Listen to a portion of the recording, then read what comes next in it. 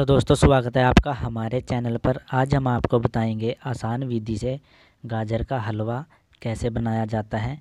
ना इसमें गाजर को घिसना पड़ेगा और ना ही ज़्यादा झंझट करना पड़ेगा। तो दोस्तों, अगर आप हमारे चैनल पर नए हैं तो चैनल को सबसे पहले सब्सक्राइब करें और बेल आइकन को प्रेस करना न भूलें। और वीडियो को जो है, लाइक करें। तो सबसे पहले हमने दूध में यहाँ पर मिला लेना है सूखा दूध। दूध हमने लिक्विड लिया है जो, यह एक लीटर है और जो हमने सूखा दूध लिया है, ये हमारा है डेढ़ सौ ग्राम। तो इसको हम अच्छे से मिक्स कर लेंगे। दूध हमारा जो है मिक्स होकर तैयार है। अब चलते हैं गाजर की तरफ़।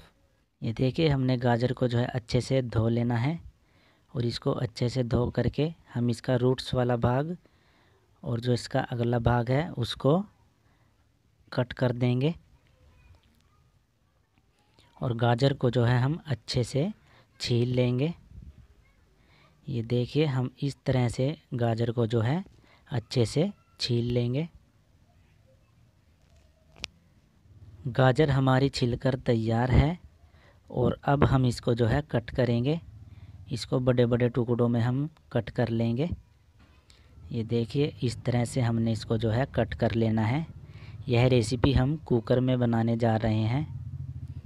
तो आप वीडियो को पूरा देखें और इस तरह से हम जो है मोटे वाले भाग को गाजर के दो भागों में बांट लेंगे और जो पतले वाला भाग है उसको इसी तरह रहने देंगे। और ये जो हमारा पीले वाला भाग है गाजर के अंदर, इसको हम निकाल देंगे। इसका कोई भी टेस्ट नहीं आता गाजर के हलवे में, इसलिए हम इसको अलग निकाल देंगे। वैसे तो आप जो है कच्ची कच्ची गाजर लें तो ये हमारी गाजर जो है यहाँ पर कट कर तैयार हो चुकी है। अब इसको पकाते हैं।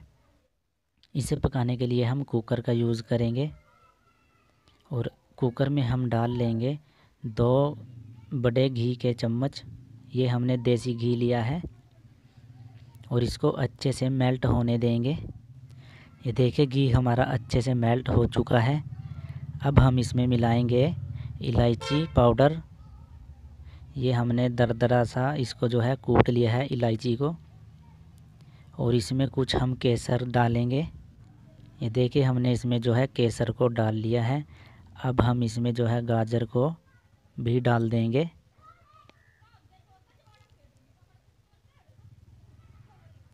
ये हमने गाजर को भी इसमें डाल दिया है। इसको हम अच्छे से मिक्स कर देंगे, ताकि गाजर के ऊपर जो है अच्छे से घी लग जाए। इसको करछी की सहायता से हम इस तरह से चलाते हुए इसको घुमाएँगे।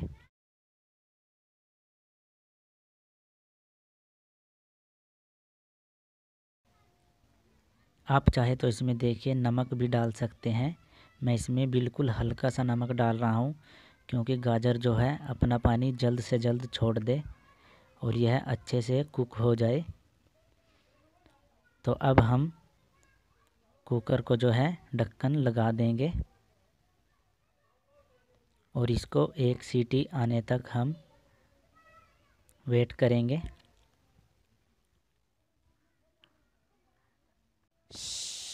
ये देखिए कुकर की एक सीटी आ चुकी है। अब हम गैस को जो है बंद कर देंगे और इसको ठंडा होने के लिए छोड़ देंगे। यह ठंडा हो चुका है। अब हम कुकर के ढक्कन को जो है रिमूव करेंगे। ये देखिए, हमारी गाजर जो है अच्छे से पक चुकी है।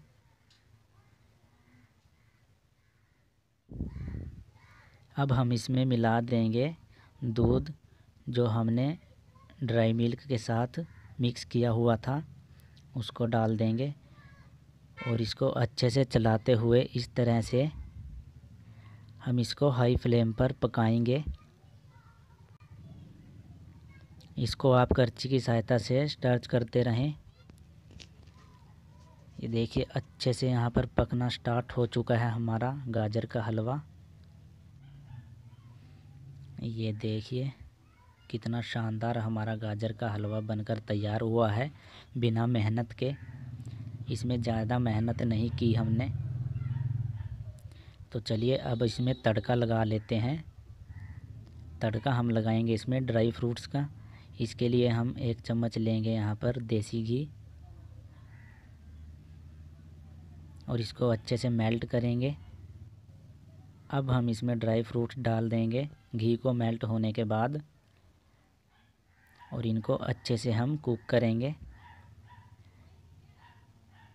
दोस्तों ड्राई फ्रूट्स आपको जलाने नहीं हैं, हल्के सा बस कुक करना है, ज़्यादा नहीं कुक करना है इसको।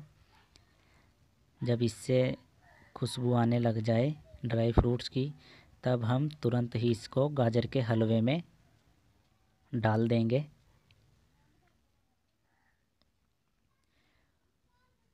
और ये हमने इसको इसमें डाल दिया है ड्राई फ्रूट्स को।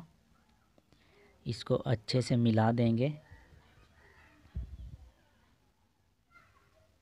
इसको अच्छे से मिलाने के बाद अब हम इसमें डाल देंगे चीनी।